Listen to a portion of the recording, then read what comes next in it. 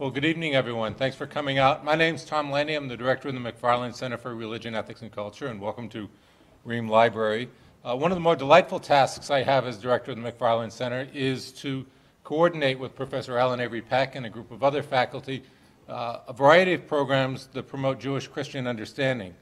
Through the really incredible generosity of Jacob and Frances Hiatt, the late Jacob and Frances Hiatt, and their daughter Myra and Robert Kraft, son, their son-in-law, uh, we've been able to enrich teaching and learning about the Holocaust, about Jewish life, and about Jewish-Christian relations at Holy Cross.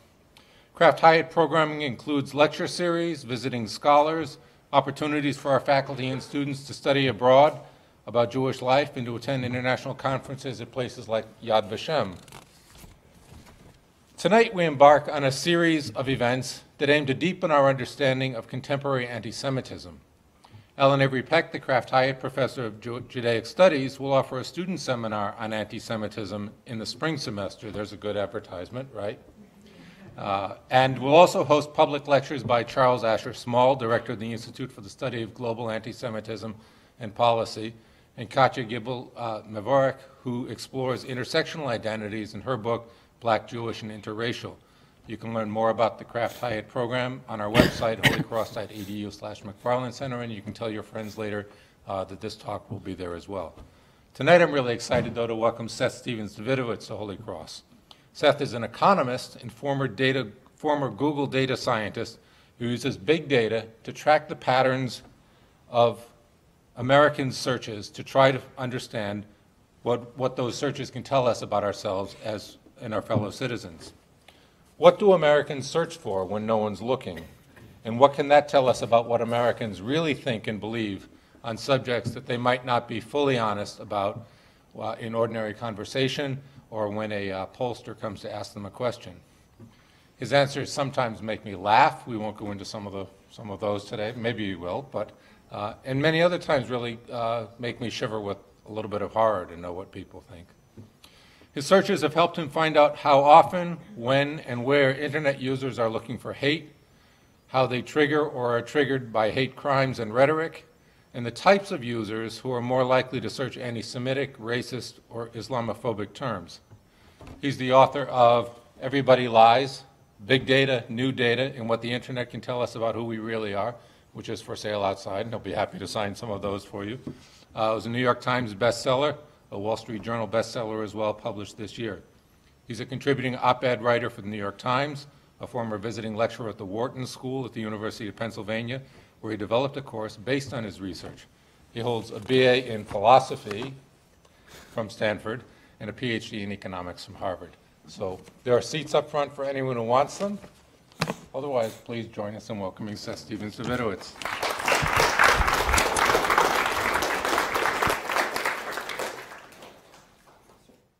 All right. Uh, thanks so much, Tom, for that introduction, and thanks everyone for having me. And thanks everyone for attending. This is a beautiful campus. I've never been here before, but uh, I'm, I'm, I'm very impressed with the, the beauty of, of the institution. Uh, I'm going to talk about something, I guess, less beautiful today uh, hatred and anti Semitism and the things we can learn on the internet about that and about uh, other similar topics as well. So, the traditional way to study anti Semitism is to ask people.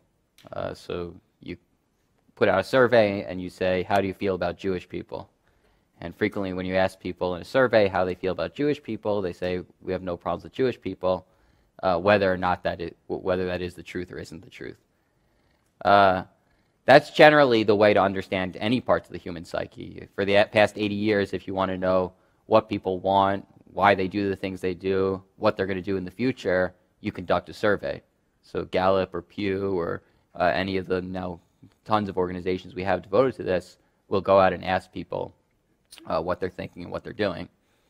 And this would work if people are honest to surveys, but over and over again we see that people aren't honest, that people uh, shade the truth, as I put in my book, with maybe a little bit hyperbole, everybody lies, and they frequently tell things, tell the pollster uh, not what they truly believe, but what they think will make them sound good, impress themselves, impress the pollster. Uh, so you see this in many examples where the data doesn't really line up. Uh, my favorite example, maybe a little racy for a religious institution, but uh, I'll do it anyway, uh, is sexual behavior. Uh, in the United States, the General Social Survey, the biggest sociological survey in the United States, uh, asks men and women how frequently they have sex, whether it's heterosexual homosexual sex, and how frequently they use a condom. And you can do the math on that.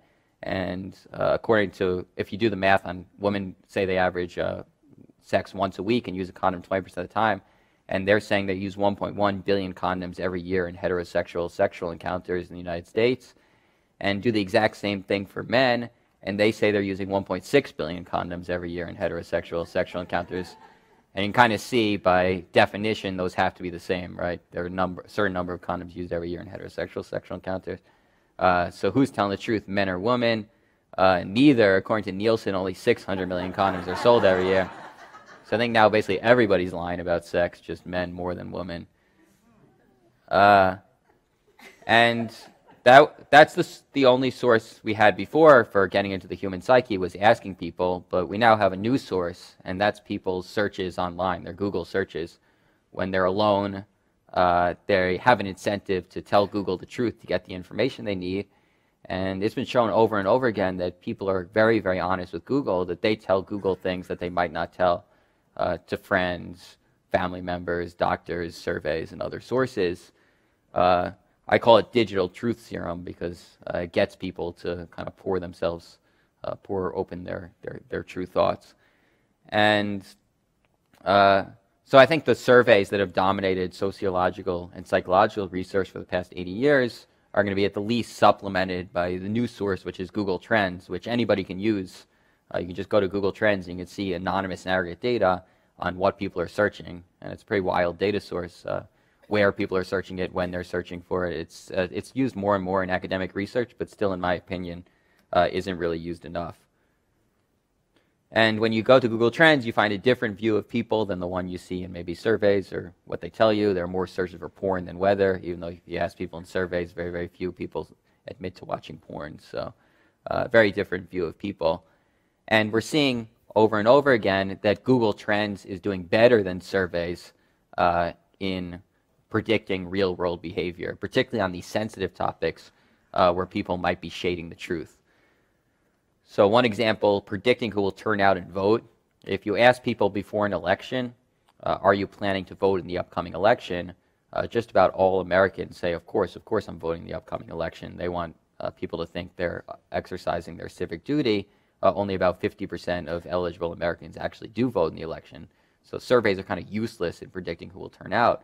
But you can predict who will turn out an election, how many people in an area will turn out an election based on their Google searches in the weeks before election. Are they searching how to vote, where to vote, polling places in unusually high numbers?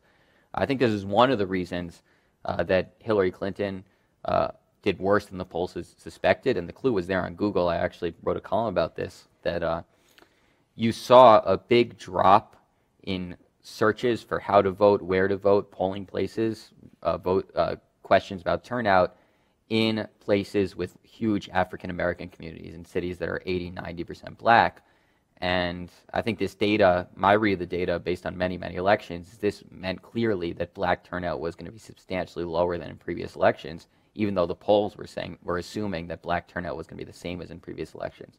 And that's one of the reasons that Hillary Clinton did underperform the polls because uh, black turnout did drop substantially, and African Americans uh, do tend to lean strongly Democratic. Uh, predicting who is at risk of suicide, I'm working on a column on this right now. Uh, you can predict uh, with high degree of accuracy and much higher than asking people uh, about suicidal ideation. Uh, really, this is really depressing, but you can see when people are making more searches, uh, how to commit your suicide, how to kill yourself, suicidal searches that are made in large numbers throughout the United States. When these searches are high in, a give, in an area, there tend to be significantly elevated suicides in that area later. And again, this has probably big public health implications. What do we want to do with this information, knowing that many more people in an area are making searches for suicide on Google and likely going to act on it uh, in the coming days or weeks? And then measuring racism. This is how I actually started this research when I was doing my PhD in economics. Uh, I started using internet data to study hatred online. And I started this research, it was 2012, and I don't know if you remember uh, this time period, but there's this idea we lived in a post racial society. uh, Barack Obama had been elected president and uh, you know won by a comfortable margin for and for various reasons people assumed that we had that we had moved beyond hatred and racism in the United States. And I in my own naivete and sheltered upbringing kind of believed this. So I was shocked when I went to Google and I saw how frequently people were searching for the N word on Google uh, not the N word and quote the actual N word you know uh, the actual word and I assumed they were searching for it in the time period I was looking for as frequently as they're searching for Lakers and Daily Show and Migraine and Economist millions and millions of times, not a fringe search as I would have imagined. And I said, what's going on here? Why are so many Americans, why are so many uh, millions of Americans searching for the N word? I said, okay, they're looking for rap lyrics. That must be what's going on.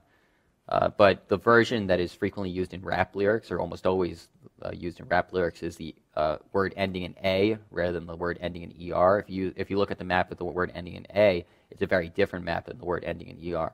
People who are searching for the word ending in ER uh, tend to be looking for jokes, mocking or humiliating African Americans. About 20% of these searches also include the word jokes. Uh, so I, was shocked by how frequently Americans are making these searches. I was also shocked by the location of these searches. If you had asked me to map racism against African Americans in the United States, I would have said, okay, deep south, right? South versus north. You think of the Civil War, our country's history, we usually think of racism as, being, as having a north south divide. And definitely places that are among the highest areas, which is darker red on this map. Also, this is a rate of searches, so it's not like it's because places are bigger uh, or using Google more. It's a percent of total Google searches. Uh, places that are higher on this map, uh, definitely uh, among the highest areas are southern Mississippi and southern Louisiana. But then right up there with southern Mississippi and southern Louisiana and parts of South Carolina are upstate New York and western Pennsylvania, eastern Ohio, industrial Michigan. The real divide, I think, if you look at this map and had to divide it into two parts of the country, you wouldn't divide it north versus south. It's more an east west divide where you see it's much lighter as you get to the western part of the country relative to the eastern part of the country. Anyway, I had published this map, and uh, it didn't get too much attention. Uh, it was considered a little, little weird to use Google searches to measure something like hatred. And then, uh, and again, there was this idea we lived in a post-racial society, so I don't think people were ready to scream that all these Americans were secretly racist. Uh, that kind of just wasn't on the agenda. And then uh, in 2016, we had an interesting presidential election. Uh, a presidential candidate said some very racially charged things, and people thought, okay, he's about to fall out of the election. Uh, he's about to, you know, he's about to get killed, and you can't say things like this in the United States. And uh, he didn't. He kept on doing better and better, seemingly the more racially charged things he said. And uh, so, so, Nate Cohn, who's a data journalist at the New York Times, uh, he had data on Trump support in the Republican primary, and he asked me for this data I'd collected on Google searches and he wanted to see if it correlated with Trump's support uh, in the Republican primary. And he found it was the single highest uh, predictor he could find, higher than ideology or economic variables uh, or anything you could think to demographics, anything you think to measure. The biggest predictor of uh, Trump's support in the Republican primary was this racist searches on Google. So I think a lot of the kind of there, this also racism was really antagonized by Obama. The week where the searches were highest were when Obama was first elected in November 2008. So I think what you saw, and I'm not saying that everyone who supports Trump is racist. There are plenty of people who support Trump for other reasons. But I do think that there was a hidden racism that really was antagonized by Barack Obama, and was it was secret. It was underground. People weren't talking about it, but it really did uh, help uh, lead Trump to, to victory uh, in in the in the in this previous election. So that gets us to anti-Semitism and what we can learn about that. And there are kind of three questions I want to look at which is uh, how anti Semitism manifests itself, uh, what causes it, and how we might stop it. Uh, big questions. I can't claim I'm going to answer them, but I'll uh, give, try to get some clues. Uh, so, what do we learn about Google searches around uh, anti Semitism? And unlike with African Americans, where the big theme is jokes, jokes, jokes, you really see with anti Semitism some really nasty stereotypes that are searched in large numbers. So, uh, if people ask questions about Jewish people. And uh, th- these are the top five negative words uh, that people complete the question, Are Jews on Google? Are Jews evil, racist, ugly, cheap, and greedy? So you see a lot of uh, really nasty stereotypes about Jews uh, are still out there uh, on the internet, even if people aren't expressing them in polite company. And the other way that uh, anti-Semitism manifests itself on the internet, which is really, really disturbing, is with violent thoughts. People type things like "kill Jews" or "Jews must die." Uh, these are not necessarily the most sane members of society. They sometimes make these searches at 3 a.m. They're a strange search to make. What's Google going to tell you if you tell, you know, type "kill Jews"? Uh, but even though they're weird, they're not the most uh, normal search. It's not really clear why people are searching for them. They do have predictive information that you do see when these searches are higher. Hate crimes against Jews also are higher. So when more people at 3 a.m. are making searches like kill Jews or Jews are evil or any of these nasty, nasty searches, you're going to see more attacks against Jewish Americans. Actually, hate crimes against Jew, the number one victim of hate crimes in the United States now, which also surprised me, I didn't know this before I did this research, is uh, Jews. Uh, I didn't know that. Uh, the other way that uh, anti-Semitism manifests itself on the internet is on hate sites. Uh, one of them is called Stormfront. How many people have heard of the site Stormfront? Okay, so a few people. It's been in the news a little bit recently. It wasn't. Uh, I actually had never heard of the site. I was just with dinner with some people here, and uh, I was telling this story how I started this research. I had written a column uh, in the New York Times, and I was people make embarrassing Google searches, right? So one of the embarrassing Google searches I tend to make is for my own name, and I was searching my own name, and I uh, found that Stormfront was discussing my work, and I got really excited. And I'm like, oh, this site I've never heard of is like I'm, I'm famous in the media. I'm like this media personality. I was really excited about the, about about uh, uh, that that uh, you know people were interested in my work and I go to this site and it's like another Jew in the media. I'm just like, what the heck? Like, I didn't, I didn't know what's going on. And, uh, and then, so then I kind of became obsessed with this site just because I had never heard of it and, and kind of who was on this. And I found out that it was uh, the most popular hate site on the internet, about 300,000 unique views every, uh, every month in the United States, uh, which is kind of a huge number, uh, biggest hate site on the internet.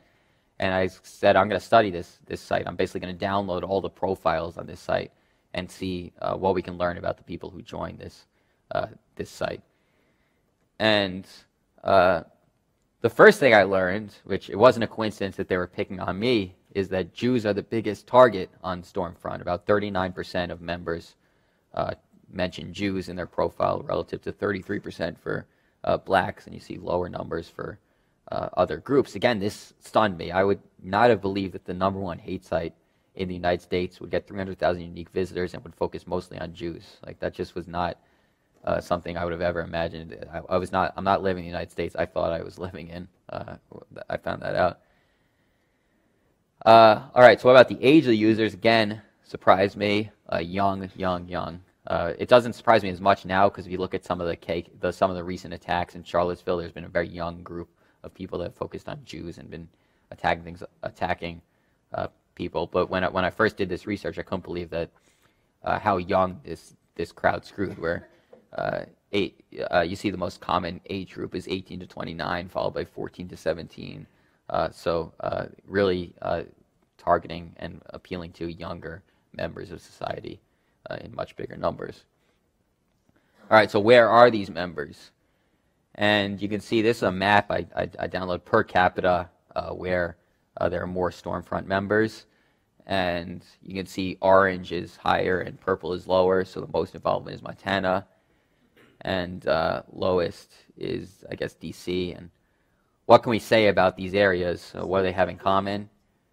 I think the main thing I could point to about these areas that are high in Stormfront members is there's places I've never been.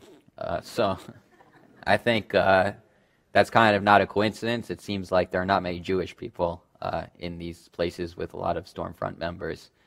Uh, and that's so there are kind of two reasons this might be. Is it because so and that is clear that there are far fewer Stormfront members in uh, places with high Jewish populations. There are two reasons for this. It could be that Stormfront members who grew up around Jewish people, if you grow up and go to high school in uh, New York or California or Florida or DC, and you don't like Jewish people, you may move to Idaho or Montana, or places where you can avoid Jewish people. And the other explanation is that uh, just maybe uh, less exposure to Jewish people is, is causing this. And I think uh, one way to test this is we can look just at high school students, so just people under the age of, of uh, I guess, the younger members of, of Stormfront, people who still be in high school where they don't really get to choose where they live, they haven't moved to a place. And you see, even among this, mem- uh, this group, there are more Stormfront members uh, in places with fewer Jewish people. So it does seem that this is a, a cohort that uh, that this is uh, that they're that expo- uh, not having exposure to Jewish people does uh, is associated with a higher likelihood of joining Stormfront. All right, so again, uh, what else can we learn about them? We can look at their le- education levels, their income levels. We don't know for sure, but kind of comparing them to zip code levels, or sometimes they have individual level data from Facebook, which I also analyzed. And you see uh, high levels of education. It's a smart group of people. This shocked me too. I'm like, these people are not idiots. Like even just go to Stormfront, you're just like, okay, these people are evil. They're not idiots. Uh, and the, they, they report their activity, their favorite activities. The number one most uh, reported favorite activity of Stormfront members is reading, and you totally see that in the post. People are talking about uh, political theory or Darwin or Nietzsche or you know philosophy. A very very smart, educated, really high IQ group of people uh, on the Stormfront website, which is pretty surprising. Uh, relatively high income. Uh, membership does not rise when unemployment rises. So that, think, think of the Great Recession, all these people out of work. Uh, there was no rise in Stormfront members membership in areas that were particularly hard hit for the, from the Great Recession. That doesn't seem to be a huge factor. Uh, economic struggles. Uh, many are single. This was actually something that you see reported over and over again when people join the site. Complaints about competition in the dating market. Some Jew, some somebody, some maybe African American person uh, gets a, gets their a, a, woman they want to date and then they get furious and start looking joining these sites and finding that Jews are running the world and lead and you know uh, pushing African Americans to the front and taking all their women and doing things like that. So I think really uh, more complaints about competition in the dating market than competition in the economic market, uh, and it's, uh, which is which which is pretty interesting. Again, grew up in areas with few Jews. It's strikingly uh, it's striking the differences, these two types of hate that I've studied on the internet, anti-black hate and anti-Semitism, just in some ways night and day how they manifest itself on the internet in the United States today. Uh, on all different dimensions, they're very, very different. It's location. We said that anti-Semitism is places with few Jews. Uh, this isn't true of, of, of uh, anti-black racism, which tends to be highest in places that are about 20%, 15% black. Uh, so uh, and, and, and lowest in places that are you know zero to one percent black. Uh, so uh, very very different. It, it, it's it's probably a different experience uh, experiencing racism if you're black and you're experiencing anti-Semitism. If you're Jewish. One of the reasons I probably was shocked by anti-Semitism as a Jew is just I don't I really literally even that seeing this data I, am not uh, I'm not seeing these people very frequently. Uh, I didn't grow up about people like these people aren't uh, in my circles. They're living in Montana and Idaho, in different places where I don't see. Whereas an African American, uh, the places where racism is highest are places where many, many African Americans live. So very, very different experience. Uh, age, if you look at the uh, demographics of the racist searches I was showing you earlier, the jokes mocking, humiliating African Americans, uh, older places with big populations, 65 plus, whereas we saw with anti-Semitism, these hate sites, they're appealing to people under the age of 30. Really, really different. Also kind of scary if you're Jewish uh, that it has such a young membership because it's not going to die out anytime soon. Education, racism, very, very low. The areas where racism is highest, education levels are very, very low. Uh, most people don't have a college education. Very, very few people have PhDs. Uh, anti-Semitism appeals, as, as we mentioned, uh, to people with higher levels of education. Uh, political views, uh, despite there's kind of this idea that racism uh, against blacks is a Republican Party phenomenon. That's not true. If you look at uh, areas that have those that, that are higher red in that map I showed you, it's not correlated at all with the political ideology of the place. It's just as high in places with lots of Democrats as places with lots of Republicans. It's pretty much a moderate phenomenon, although a blue collar one. Whereas anti-Semitism in the United States is very, very right-wing phenomenon. Uh, places like Montana and Idaho. Uh, the stereotype of the groups are very different. Uh, but the, if, if I just describe how anti uh, black race in the United States manifests itself. It portrays uh, African Americans in really a pathetic light with these jokes mocking them and saying how kind of stupid they are. Uh, in anti-Semitism, very very different. Jews come are portrayed as clever and all powerful, but just greedy and cheap and evil. So very very different uh, portrayals of the groups. And then the ma- I think related to that, uh, you see the way it manifests itself. if you understand, if you're kind of mocking a pathetic group, uh, the group that you think is pathetic, obviously they're not, is uh, you make jokes mocking them. Whereas uh, with Jewish, with anti-Semitism, it's uh, conspiracy theories. It's that Jews are running the show, and there are groups of people kind of joining on the internet uh, to kind of discuss how they're going to deal with uh, this supposed super powerful, super clever, super greedy, super evil group. all right, a typical member, I would say, is maybe some a, a, a man, male, more males than females uh, of Stormfront is a, a, typical member of Stormfront is a male, maybe his early 20s, who uh, on paper has a pretty decent life. He has a job, uh, he has a good education, uh, but he's not maybe at the top of the ladder, and he maybe isn't the best at getting women, uh, and uh, is single and kind of complaining about his life and unhappy about how his life is going and looking for an excuse or someone to blame about uh, for for his supposed problems, uh, and finds kind of anti-Semitism. You see a lot of people on Stormfront how they describe they got to the site. They they like sometimes it's a, someone dated.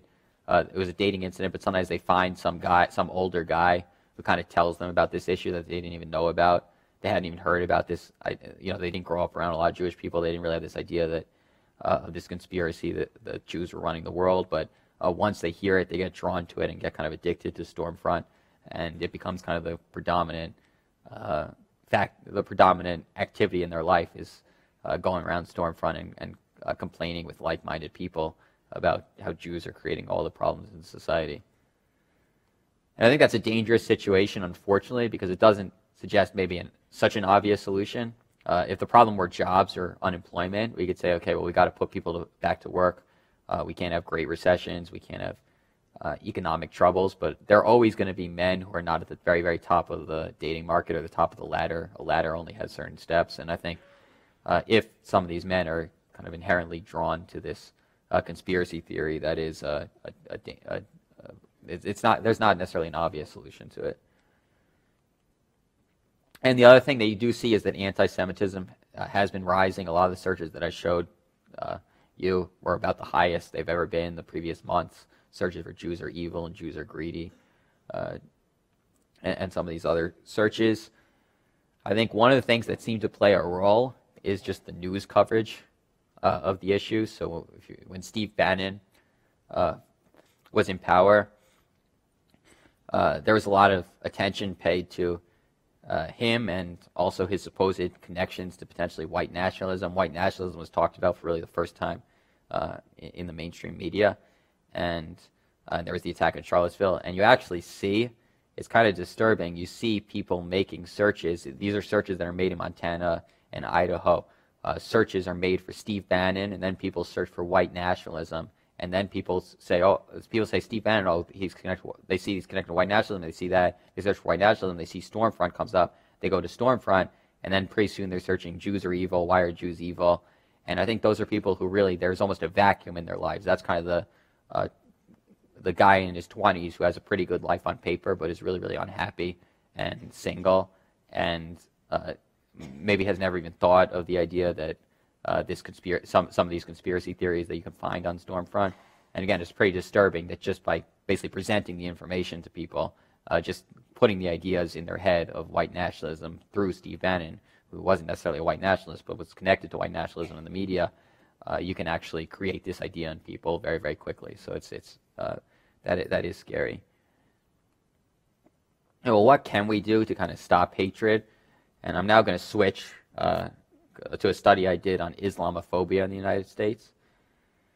And Islamophobia also manifests itself on the internet with very, very nasty searches about Muslims searches like kill Muslims, I hate Muslims, Muslims are evil, no Syrian refugees.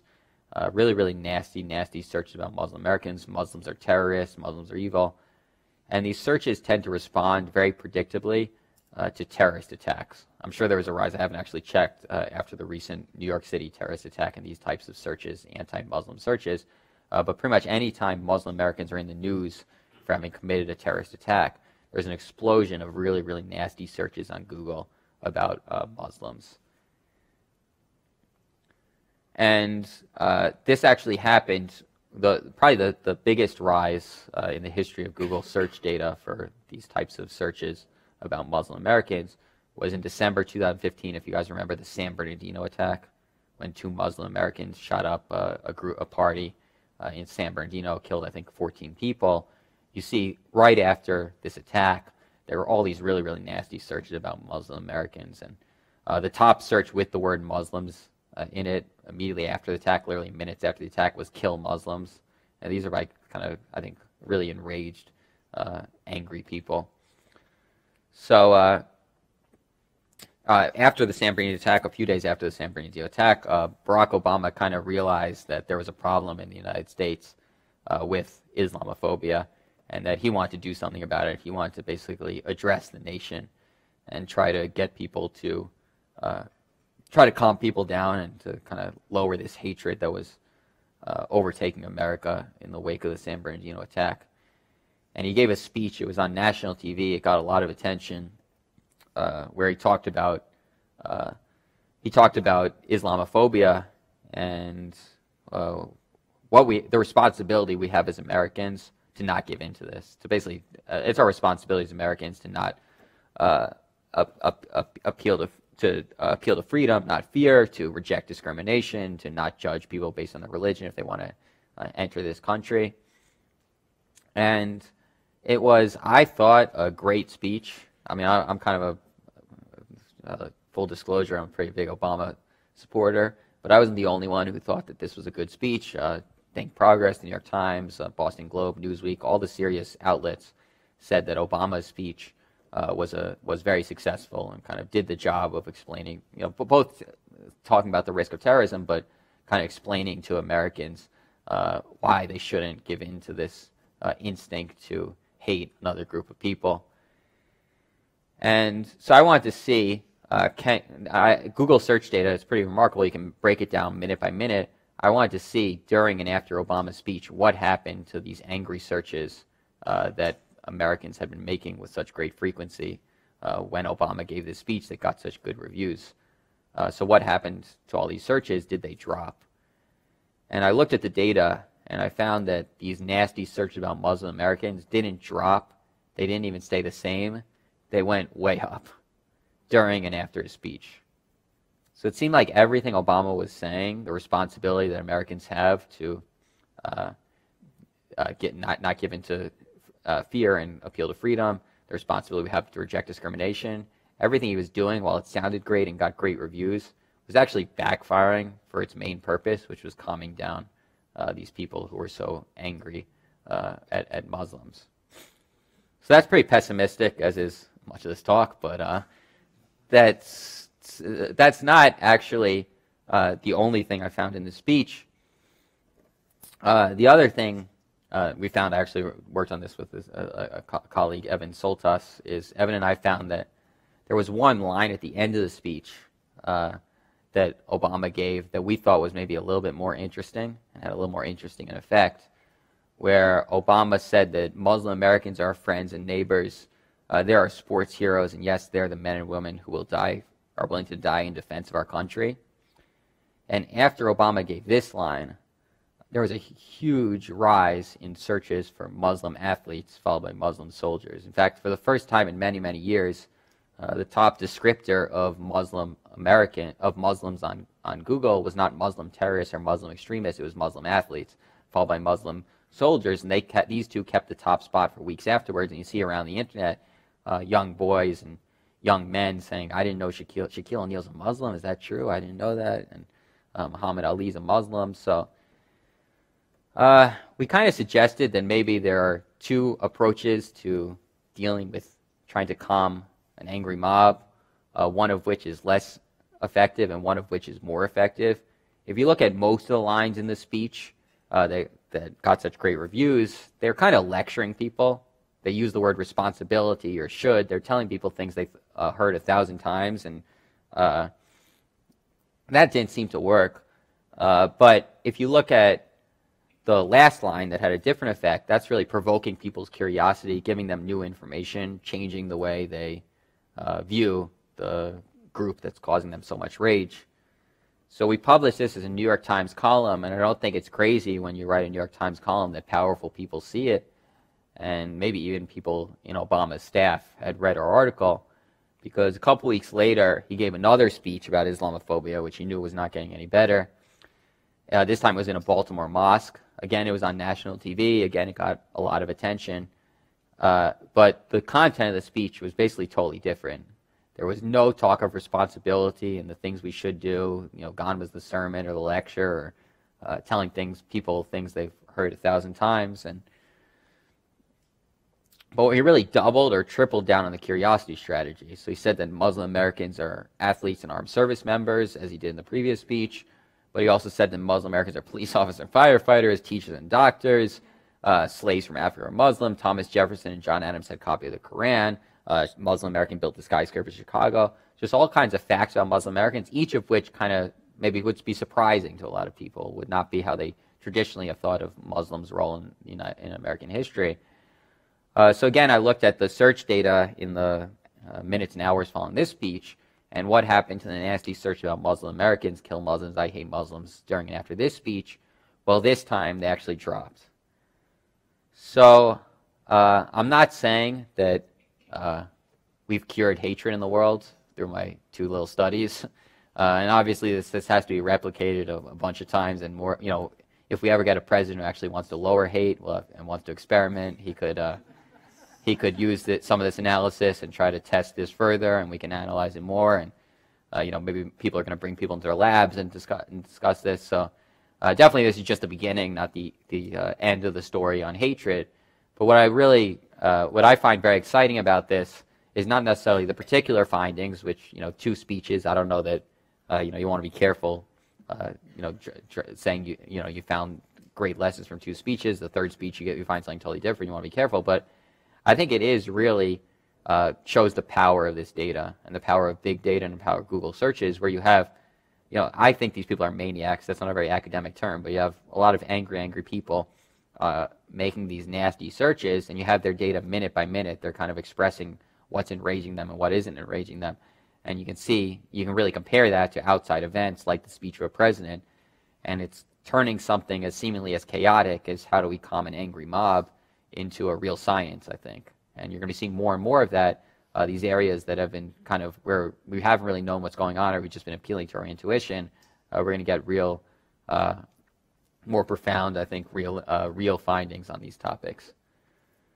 Uh, so obviously more work to be done on all these areas, uh, but kind of how do we stop anti-Semitism? Again, I don't, I don't claim that I, that I have the answers, but kind of based on my research from kind of where anti-Semites live and these studies I've done on what lowers hate, you know, you kind of have these this vacuum of people who grow up uh, uh, without really seeing Jewish people, and they hit their 20s and they don't like their lives, and they're uh, ready to be uh, to, for this vacuum to be filled with this idea that Jews are creating all their problems, and then become obsessed with it, and that becomes the key theme of their adult life.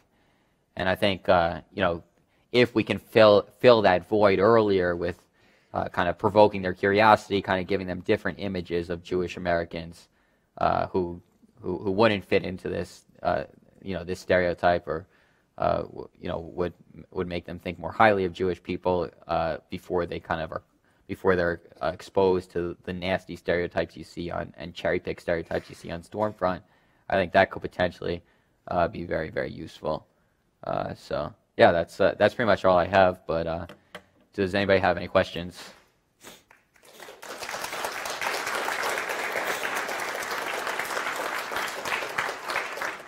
Yeah, so anti-Semitism versus anti-Israel uh, attitudes. I haven't done too much about that. That that is a question I get asked a lot. Also, you know, on college campuses, there's a left-wing movement that you know I kind of have this. I've kind of focused on this right-wing violent uh, conspiracy anti-Semitism, and there's also kind of a left-wing movement that can, uh, many people think, uh, move into anti-Semitic uh, realms, which I haven't really done too much research on. I, I, it's another area that you could potentially use some of this data uh, to find exactly what's going on there. But uh, you know, I, I, I haven't done. There's a, there's a lot more more to be done on all these topics, which is I was explaining on the again on, on this dinner I had uh, with some of the Holy Cross students and faculty how.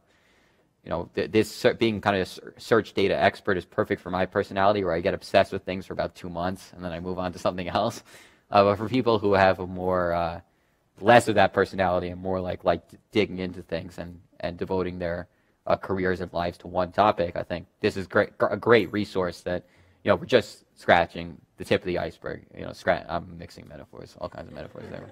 Scratching, the, scratching the surface, whatever. Okay, but uh, yeah, so I think uh, I think you're definitely going to see more. You know, definitely those. That's the type of thing you can explore, and and how much of of, of the, uh, you know, I guess the boycott uh, Israel stuff is is connected to anti-Semitism. I think you would be able to learn that some of that with this uh, with this data. I haven't really done it.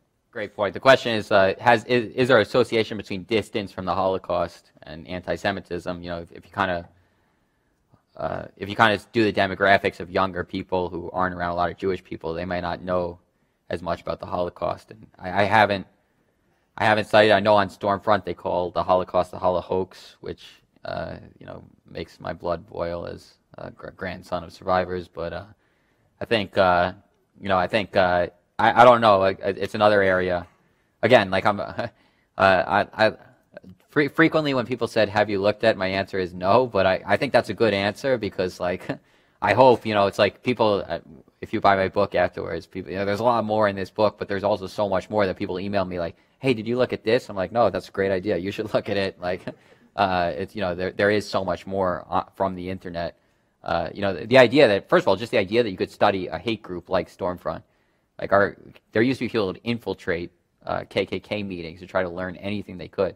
But now the data on Stormfront, like all the posts, every all the visits, every, all the members, that's all just in the digital exhaust. That's all. It's, it's a, a, program. You write a program, you scrape that, you have all that data of the biggest hate site in the world. That's where most people. I don't think people are having secret meetings anymore. They're all just going to Stormfront, and that data now is available for uh, researchers uh, to mine. So.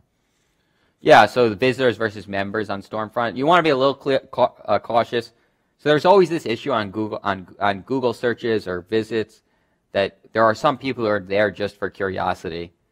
Uh, who you, I, I think in general that phenomenon is uh, that concern is overblown. Uh, that there are some people. I I searched a, lot of racist things when I was writing my book. You know, I'm in some of these data sets. I'm peanuts uh, compared to you know the areas that really have a lot of racists. Uh, so I think, you know, I I, I with the with the visitors, uh, that data just isn't available to me. Uh, you know, it would be available to the Stormfront people, but I don't think they're they're not big fans of people like me.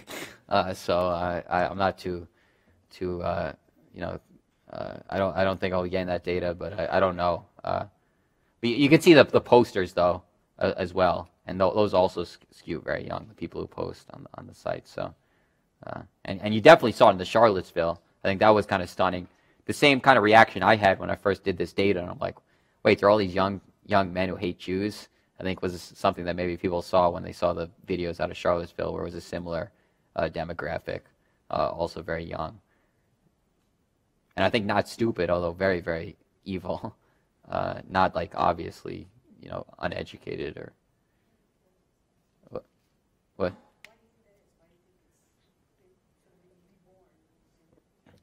Yeah, I don't. Why is it reborn? I think I, I hadn't heard of the distance from the Holocaust idea, but uh, you know, it's definitely uh, it's definitely interesting. Uh, you know, I think you know there, there's probably a limit to how low these types of things can ever get because they're always going to be. Again, some people are unhappy with their lives, and this is kind of like the perfect conspiracy theory for someone if you're unhappy with your life uh, to blame another group of people that have a lot of seem to have a lot of power. Uh, so. Uh, I don't totally know. Again, like you know, there do seem to be more, I guess, unhappy younger men. Maybe I've I've heard. You know, there are there are drug problems. There are a lot of, although that doesn't seem to be this demographic, but uh, it could be that. You know, that I think uh, there there are, is a crisis among young men of kind of what they're doing with their lives and kind of the traditional jobs that gave them meaning, where they're working with their hands and very physical, are kind of gone, and uh, so it's a you know, even if you look at kind of the Charlottesville protests, kind of the physicality of that protest, the uh, the need for violence or the need to uh, express oneself physically, I wonder if that's related at all. It could be, uh, you know. Uh, so I think anything that's bad for for young men maybe would be bad for for this. Though it's not as simple as just not having jobs again, because it wasn't just the recession uh, hit them. It's it's more complicated than that, but uh, kind of a dissatisfaction that young men feel with their lives. I think uh, that that's a dangerous uh, that's that's a dangerous situation. Yeah, so I think on this particular one, it's pretty tough. So the question is, can, you know, what do polls tell us about anti-Semitism? So a lot of like extreme anti-Semitism that would express itself here, like, uh, you know, I hate hate Jewish people, or Jews are evil, or Jews should die, or the Holocaust was fake. Like you're gonna get such small numbers, and among the pe- the ones who do answer yes, they're gonna be just messing with the survey. So it's really really hard uh, to really get too much meaningful information. Uh, but I, I, haven't I haven't done. I probably should do more on the actual what the surveys tell us on uh, some of these some of these issues. Yeah, I think I think it's going to be really tough because it, it is. Uh, again, I think you run into the problem again. There's a small percentage of people that love messing with surveys, particularly younger people. Uh, that no matter what, like no matter what, they'll they'll think put an answer that they think is humorous or, or uh, and and you combine that with the fact that the sensitivity of the issue, you can get some really wacky answers uh, that are hard to interpret on a topic like this. No, so it's uh, it's the percent of it's the percent of total Google searches. So it's not it's not either that the population is smaller or that they use Google less. Uh, so so if you do these maps for like other things, Montana will be right at the top. It's not yeah it's not biased by either population or uh, propensity to use Google. I think it's actually it's actually interesting. I think so it, it definitely skews male, but it's not 90 10. It's not it's it's it's it's I think about 75 25. I'd have to look at the data again, but uh, 75 25 male. I think uh, you know women may be less likely to want to be seen in public uh, holding these views. Uh, again, the dating comes into play a lot. I think some people view this as a dating site. Uh, you see that you do see that a little bit. So, well, it makes I mean it makes sense. You should like if you hold these Although, kind of actually one of the disturbing things is that, again, it goes to like that these people are are smarter than I would have guessed, and they're also like they, there are like uh, there are like uh, threads on uh, Stormfront that just like discuss Breaking Bad and what a great show it is and analyze the episode. And like it could be the the conversation I have with my friends after a Breaking Bad episode. Like it's like at that level, I'm like, like wait, what's going on here? And then they'll have like a they'll just be like analyzing a dating site like uh, OkCupid or like I'm like wait these people are on OkCupid like I've been on that site. Like it's like it's a little weird to be like oh white nationalist you could be you could be dealing with a white nationalist. I mean probably less in those places I've lived as you can see from the data where it's you know that might probably more a risk if you're in uh, Montana but uh, yeah. They're not I mean I guess it makes sense. Like I kind of just imagine that like white nationalists would be like in just a total other universe, but like they still are using the same products, like watching the same things, using the same websites. Actually, one of the interesting things in this data set, which goes to the point that these people are not uneducated, is they're actually uh, twice as uh, they're twice as likely to read the New York Times as like a typical internet user, which again is just not like yeah, it's like they're they're political junkies. Like you see, like they it, comes across. Just forget like the data analysis and how frequently they go to these sites or they purport reading. Like you go to the site, they're like, okay, these guys, these people are like, they're not idiots or evil. like that's that's the kind of I think comes uh, is very clear. Whereas if you go to some of like the joke sites mocking African Americans, you're just like these guys are idiots. like it's very different. It's like you know low, very low levels of education, very like you know crude uh, stuff. Yeah. Yeah, it's just striking, just how much dating comes up on these sites. Like it's just interesting. Like more again, like we usually think economics, economics, economics. I think as social scientists, you know, as uh, yeah, it's like sex, sex, sex is more. is like usually, you know, I'm an economist. Like when I think of like what people need in their life, it's like where they need jobs, they need a stable income, and it's like you go to this site, it's like, yeah, it's like yeah, it's sex, yeah. So. Uh, well, I don't think anything in this talk should think, make anybody think I'm optimistic about anything. So, uh, no, no, no. I think uh, initially, if, uh, when I when I was doing this, I wasn't even thinking those terms. Like, and nobody else, as far as I could tell, like when I, when I was writing this stuff, was like, oh, like this is potentially nefarious uses or stuff. Uh, and now I do get that question pretty much every talk I give. Not to say you're not unique, but like, uh, it's it, it is kind of something on people's minds and I, you know, yeah, I guess like you could say that I think big data isn't good or bad. It's just powerful. And you know, I'd like to think that there are more good people out there than bad people out there, and you know, you know uh, not many people are going to want to like a rise in Islamophobia or a rise in anti-Semitism, but you know, you don't, you don't, you never know for sure. And I think the Cambridge Analytica thing was is a little bit overblown. Uh, you know, I think uh, once you, for people who don't know, they're the company that worked with, they were Trump's data team, and there's kind of this idea that they were uh, figuring out everyone's psychological profile and like manipulating them uh, like rats to support Trump. And uh, I think after you win an election, it's very very easy to like say you were geniuses and doing all these advanced things, and then you get all these corporate corporations interested in what you were doing. Whereas I think what they were doing was pretty basic. Uh, the big powerful, I think Hillary Clinton did some really uh, dumb things. She didn't have like a, a real Facebook ad operation. Just simply having ads on Facebook are much more powerful than ads on other places because you can target them to small groups of people and you can test them. Uh, and that, that was, I think, where Cambridge Analytica got its big returns. The psychographic profiling and stuff, uh, I think, is not was not nearly as important as they're claiming. Yeah. So yeah. So the question is like, how should we think that it's not like every you know every group is oppressed in the same way? Uh, yeah, I think. Well, first of all, Stormfront does talk about other groups besides Jews. As I put in the initial slide, so it's not Jews are the predominant group, but they're unhappy with lots of other groups. Uh, yeah, I think I think every group probably does have its unique approach, and you know, I think uh, I think if you look at like the gay rights movement, this is just me pontificating, but I think one of the reasons it moved so fast is because once some people came once some people came out, then a lot of people had relatives who were gay, friends or close friends or close relatives who were gay, and then uh, they kind of wanted their friends and relatives treated fairly, and then it kind of and that kind of got a, vicious, a virtuous cycle going, and that's not really something you can do for like Judaism or uh, or Afri- or you know for black people. That's not like you know it wouldn't work the same way. So I think there are really there are probably in many areas probably unique may there may be some unique approaches. You know the curiosity thing I wouldn't I wouldn't um, I w- wouldn't find it surprising if that's fairly universal. That always kind of positive images of a of a group, particularly surprising ones, are going to be pretty helpful. Uh, you know, across all the different all the different groups. But uh, you know, there definitely might be some uh, some approaches that are uh, some approaches that are better for one group and some approaches that are better for other groups, uh, considering the different uh, nature of the the oppression.